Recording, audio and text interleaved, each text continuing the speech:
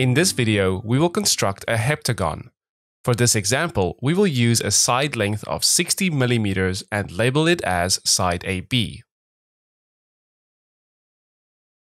Let's start by extending our side lengths to both ends and construct a perpendicular bisector on point A.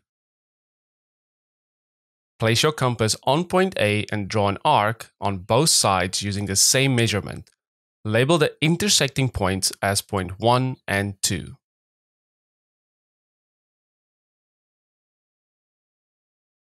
Place your compass on point 2 and adjust it to more than half the distance to point 1.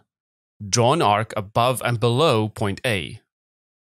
Using the same measurement, do the same on point 1 and complete the perpendicular bisector.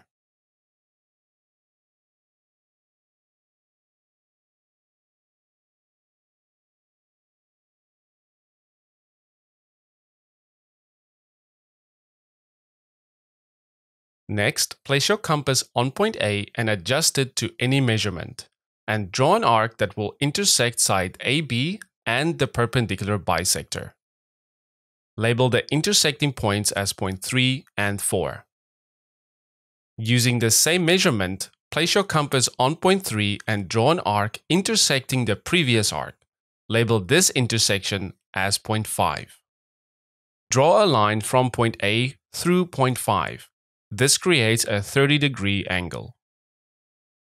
Next, we will draw our second perpendicular bisector on point B, following the same steps as on point A. Place your compass on point B and draw an arc on both sides using the same measurement. Label the intersecting points as point 6 and 7. Using these points, adjust your compass to more than half the distance to the opposite point and draw an arc above and below point B. Do the same on the opposite point and complete your perpendicular bisector.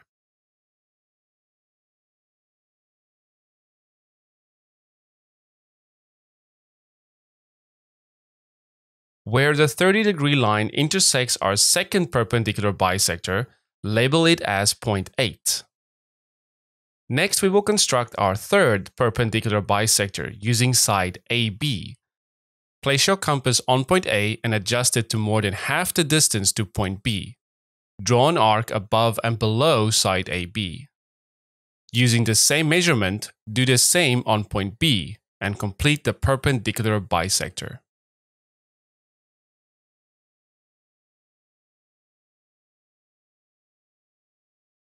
We will then place our compass on point A and adjust it to point 8. Project point 8 onto the third perpendicular bisector. Label this intersection as your middle point.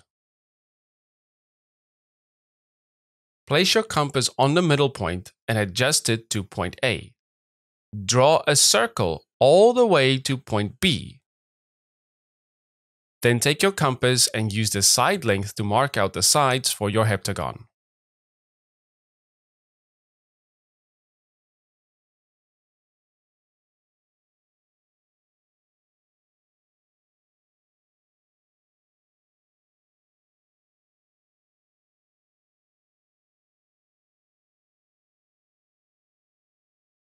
Now take your ruler and complete the heptagon.